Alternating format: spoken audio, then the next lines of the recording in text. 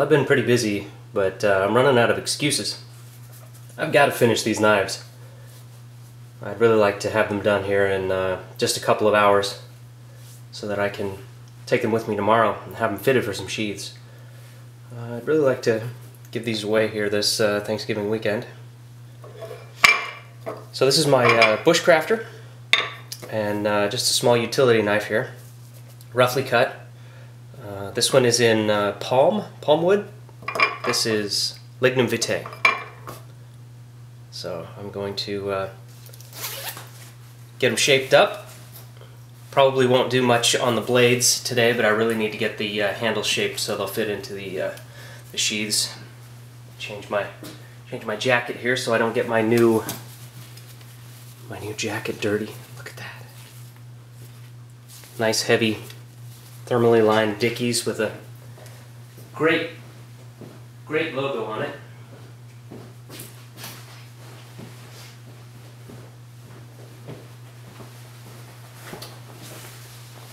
Put on my old cruddy green cotton Eddie Bauer button up.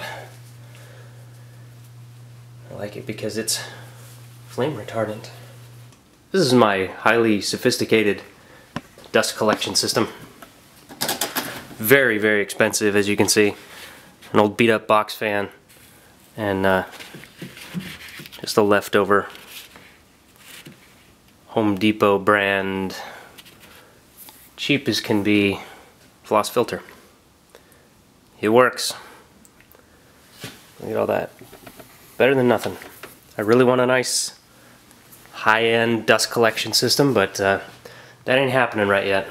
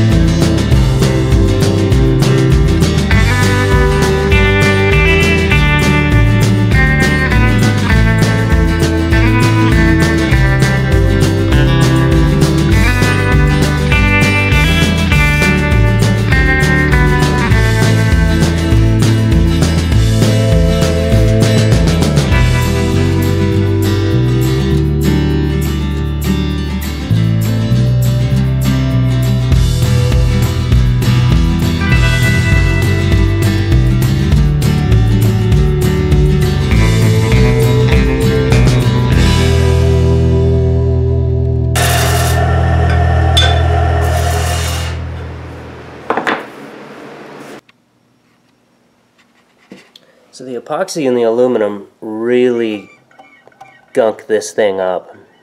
Uh, this has been used a couple of different times, but here's what I'm fighting against here is this buildup and the uh, the rubber stick just is not cleaning that off anymore. Uh, this happens. I go through these unfortunately pretty quickly, uh, but man, it really cuts cuts the time needed way way down. Um, it takes me a lot less time to do these. These sheets of uh, sandpaper, however, are uh, the 12 inch diameter and they cost about 12 bucks each. Uh, so that's the unfortunate part.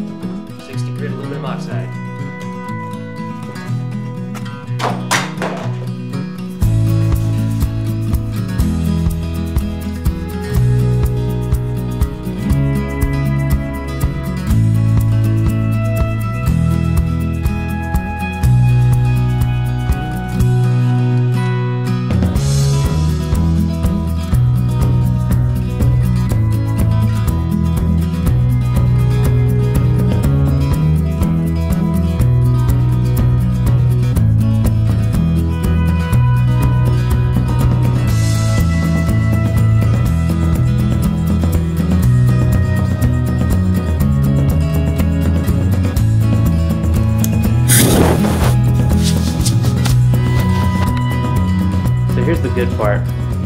This is when these really start to take shape. Uh, down below my sander here, I've got the bucket. And the bucket holds bucket holds all the old leftovers from uh, cutting blades. Ones that just aren't quite sharp enough anymore. So I use these. I'm to start out with 36. Give it, thin it out just a little more, get that body, the hourglass shape going. And then after that, start to break it down, smooth it out, and then I uh, usually finish them off by hand.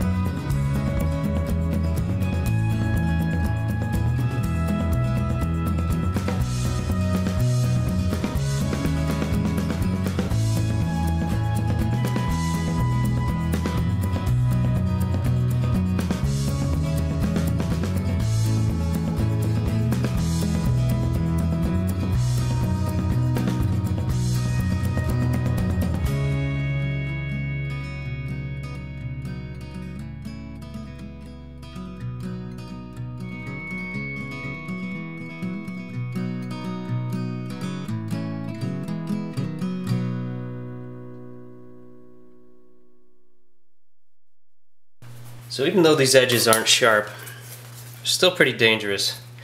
If the uh, sandpaper were to give right at the, uh, the seam, right where it connects, which I've had happen before, it comes whipping off of there right quick.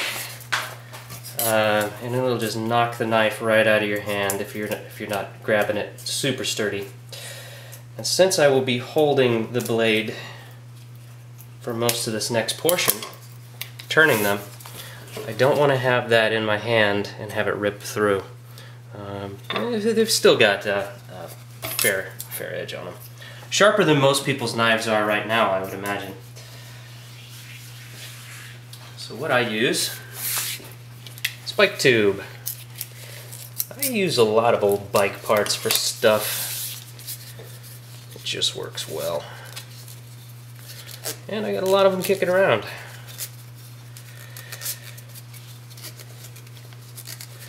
In case some of you didn't know, the name Kleinfreak comes from a bike company, Klein Bikes, which is what I used to race back in the 90s.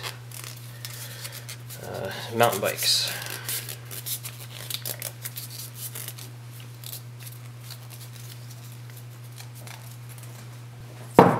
So I wrap these up, slap them with a little duct tape.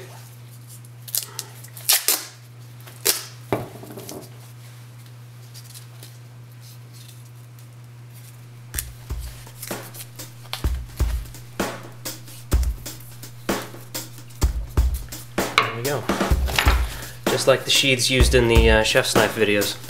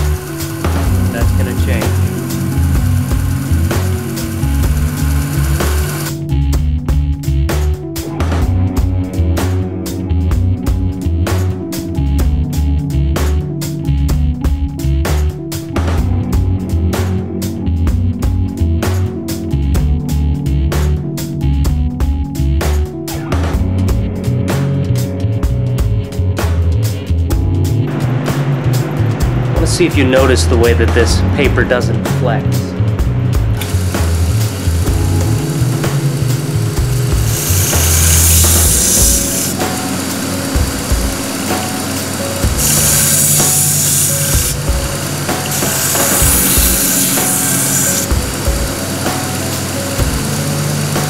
very stiff.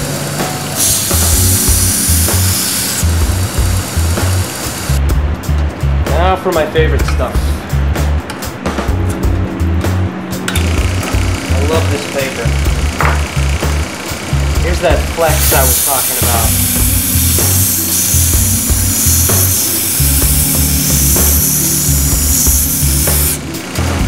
See how it curls right in there? It's just amazing stuff.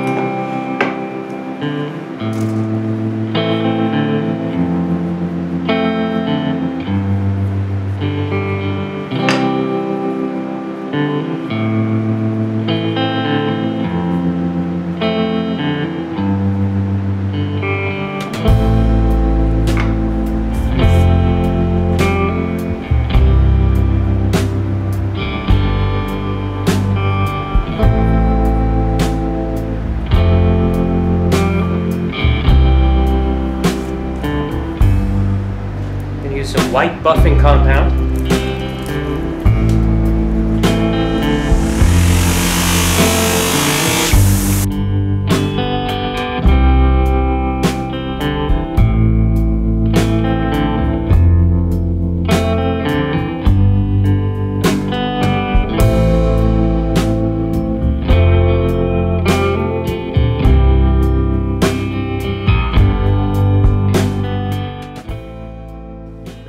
There in sanding, just buffing compound.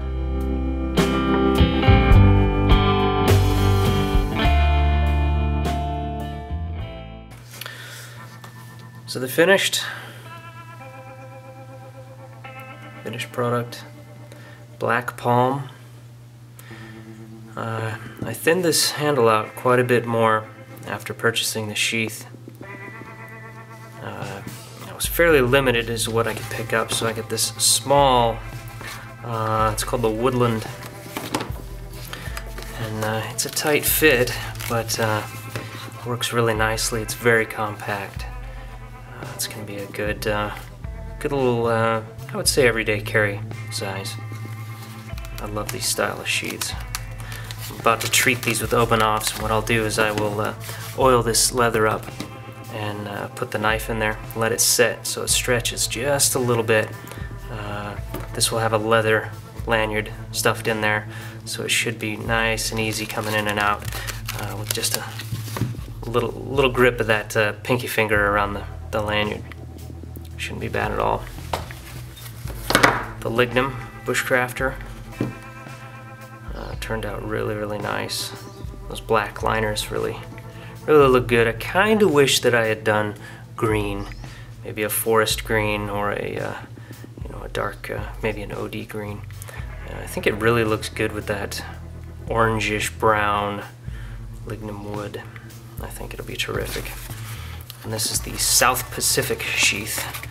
Uh, that'll be a really, really nice one. This one could even sit almost all the way down so that this uh, handle is completely protected. That's what this little flap is for. You're supposed to set this knife all the way down in there And then that helps if you're walking through uh, brush or sticks. That way if you rub it against there, you don't scratch up your handle. Uh, won't really be a problem with this lignum though. Uh, that's, uh, that's really, really tough wood. I am really impressed. And they're all sharpened up. If I could, there we go. Strop to, oh boy. There we go. Drop to about, uh, uh, what did I do?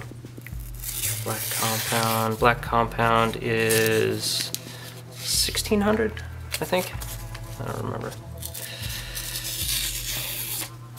This one has a little, little catch right there. Right inside. Let's see if you can pick that up. Right there. There's the nick.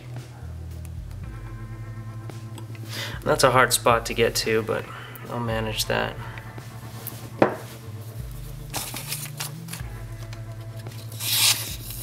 This one's going to be amazing. Although, both of these blades not made for paper cutting. They're made for whittling. Bushcrafter really cuts some nice pieces off of there. A little utility as well. You can get some really big chunks off of it. You can also get some tiny little curls. Teeny tiny little curls, and that's important. Because if you're making feather sticks or something like that, you gotta do some little detail work. It's important that you can get those and all the way down to the tip.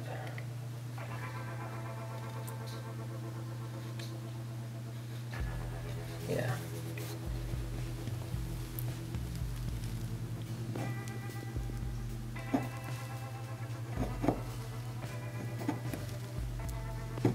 I have to practice that. I'm not very good. Though. That's it everyone. Thanks for watching. See you soon.